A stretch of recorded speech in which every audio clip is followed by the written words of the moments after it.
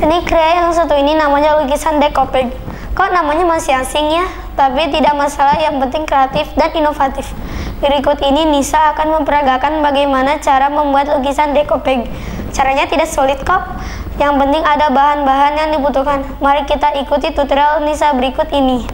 Halo teman-teman Papita, berjumpa lagi dengan Nisa dan Gaida di segmen Seni Kriya. Kali ini Nisa dan Gaida akan membuat lukisan decoupage. Berikut bahan-bahannya.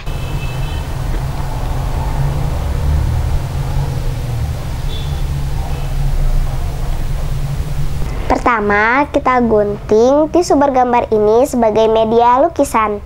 Nah, kita gunting sesuai dengan ukuran kanvasnya. Setelah ukuran gambarnya sesuai dengan kanvas, kita ambil bagian yang bergambar. Hati-hati melepas lapisannya ya.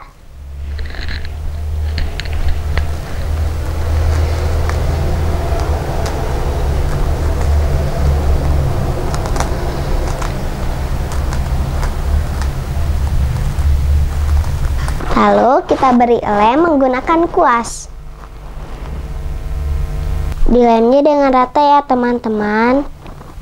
Tipis aja ya.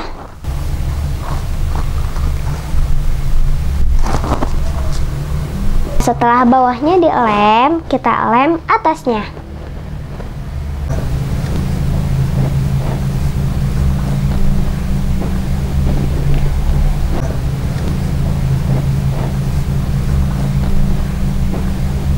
Selesai diberi lem seluruhnya, kemudian kita tekan menggunakan spons yang lembab agar nanti hasilnya bertekstur sesuai tekstur dari kanvasnya.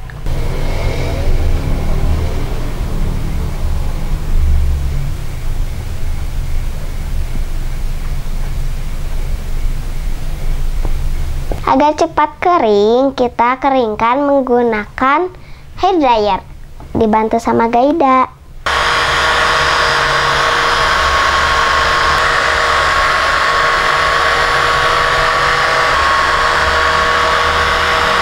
Setelah kering, kita beri pernis.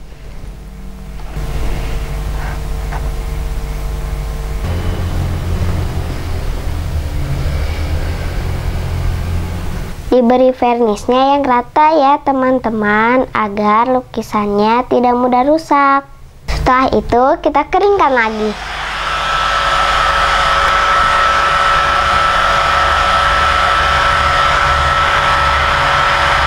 Nah, sudah jadi deh. Mudah kan? Sampai jumpa lagi di segmen seni kriya berikutnya. Dah.